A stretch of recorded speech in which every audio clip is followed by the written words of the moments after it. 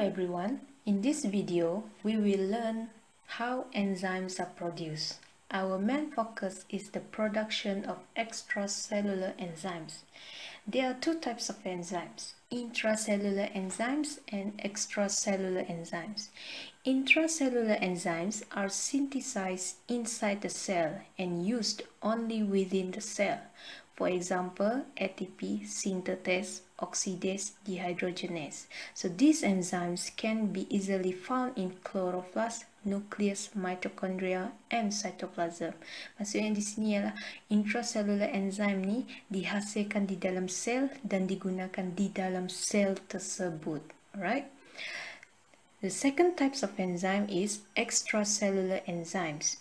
There are enzymes that are produced inside the cells but they are secreted outside the cells to function externally. For example, the enzyme trypsin that is produced by the pancreatic cells and secreted into the duodenum to break down polypeptides.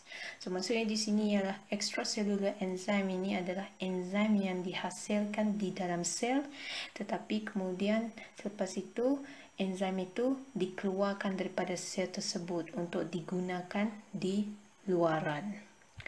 Okay, so the main question here is how extracellular enzyme is produced. So here is a picture that illustrates the production of extracellular enzymes.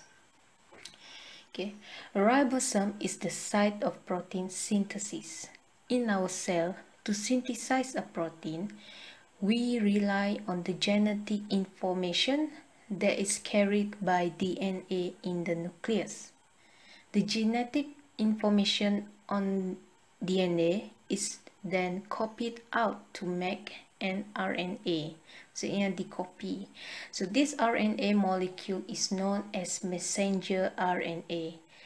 So di sini kalau kita nak buat protein, kita perlukan maklumat genetik kerana setiap protein yang dihasilkan itu mempunyai maklumat genetik yang ber berbeza dengan protein lain. Dalam erti kata lain, setiap protein ni unik. Okay?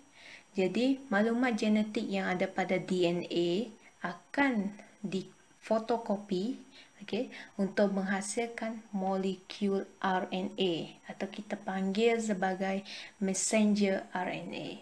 Boleh faham setakat ni? Okay, then what happens next? The messenger RNA then leaves the nucleus through the nuclear pores, okay, and attach itself to the ribosome on the rough endoplasmic reticulum.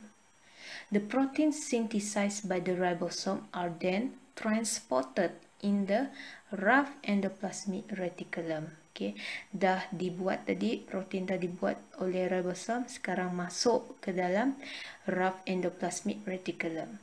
Once the protein reach the end of the rough endoplasmic reticulum, the proteins are wrapped in the transport vesicles and bud off from the rough endoplasmic reticulum. Jadi dia tinggalkan dan dia, dan dia pergi berlayar. Okay. The transport vesicle then fuse with Golgi apparatus, releasing the proteins into the cavity. In, in Golgi apparatus, sorry, in Golgi apparatus, the proteins are further modified and processed. Okay, nak tambah apa, nak tambah spare part, okay, pun boleh kat sini. So, what happen next ialah the protein are then wrapped in secretory vesicles, okay.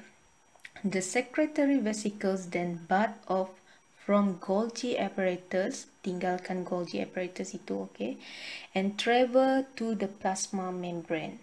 The vesicles then fuse with the plasma membrane before releasing the protein outside the cell as extracellular enzyme.